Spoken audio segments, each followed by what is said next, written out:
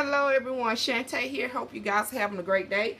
So I wanted to pop in real quick before I go to work and share with you guys a card I created for Tonya's grandson.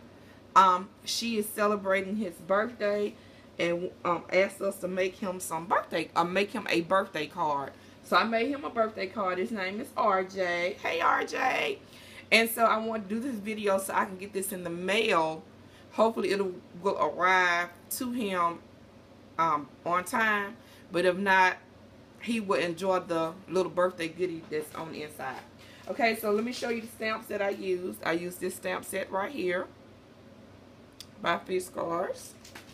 And I used this stamp right here from Sweet and Sassy Stamp. This is, um, what is this one called? Little Toy, Little Boys Toys. Right there. And then this one is just named um, Birthday Cheer. Um, I use this uh, paper pad by Bo Bunny. Uh, little, the Little Monster Collection. And I just took strips off of this sheet, if I can find it real quick. Right here. Alright, so let me show y'all my card. It's three it's a four by four four by four card. This is the front. I just did very um simple coloring, no shading, and just very simple coloring.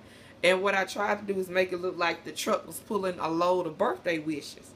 So it just says, you know, birthday wishes, and I stamped it coming all out the truck. And I cut the circle with my slice machine, of course. And then this is the strip of paper. And on the inside it just says RJ, RJ, no one deserves a happier birthday than you, Shanta. Alrighty, and so, yeah, that's it.